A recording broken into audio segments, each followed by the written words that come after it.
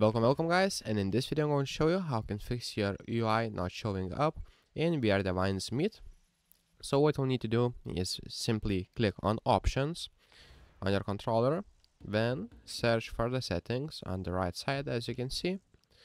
Then after that, using R1 or L1, scroll down until you see, um, let me see, okay so what we'll need to do is go to the other and after that scroll down until you see uh, immersive mode and this what it does. So basically when you enable it all main UI elements are hidden. So you are placing uh, playing with immersive mode. And if you are disable it you'll get your UI like by the by default one. So basically disable that option and you will get your UI back. So if this video was helpful please make sure to subscribe to guide to everything. Comment down below for the algorithm and see you in the next one